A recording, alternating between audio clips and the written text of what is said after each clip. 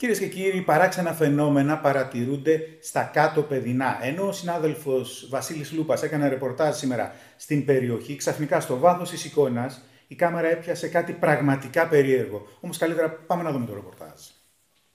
Μερικά αγριόγιδα προστατευόμενο είδος της ελληνικής πανίδας που βρέθηκε στα όρια της εξαφάνισης. Τα προηγούμενα χρόνια εντοπίστηκαν πολύ κοντά στον οικισμό των κάτω παιδινών.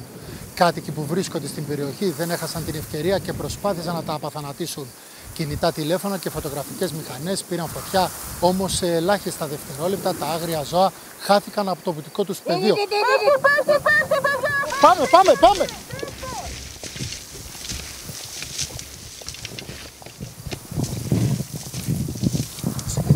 Είμαι μια χαρά. Έπεσε μια κοπέλα ρε παιδιά τον ουρανό, έπεσε εδώ πάνω στα άχυρα πάνω, ευτυχώς δεν χτύπησε. Διακόπτουμε να δούμε τι συνέβη και επανερχόμαστε σε λίγο.